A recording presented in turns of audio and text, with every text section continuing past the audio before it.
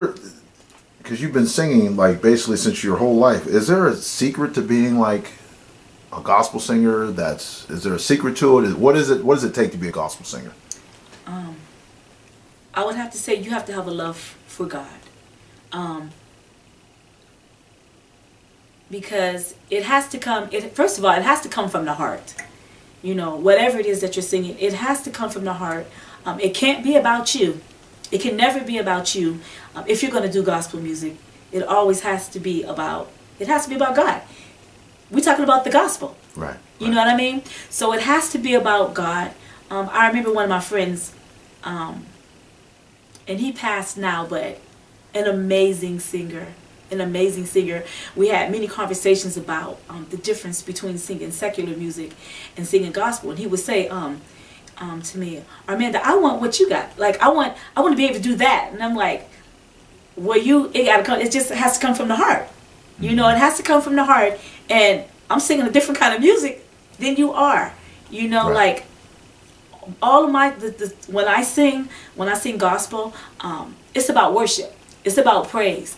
And I'm singing to you, but I'm actually worshiping God mm. in the process of it all.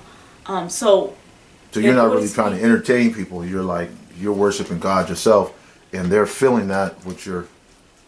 Exactly. Um, I would say like I always, I always tell people like even before I sing, um, I always pray and I say if I know that I have to sing, part of my prayer is God use me and anoint me, minister to me and through me. Mm. You know, because I don't want to be just singing in vain. You know, it's for his glory, but it's also to minister to somebody else's heart, you know, to encourage them, to uplift them.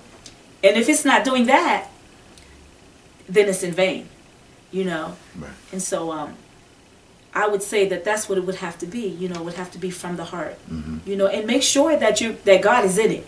You know, you're not just, you know, I love the runs. I wish I could do them all. I love the runs. I think they're very pretty.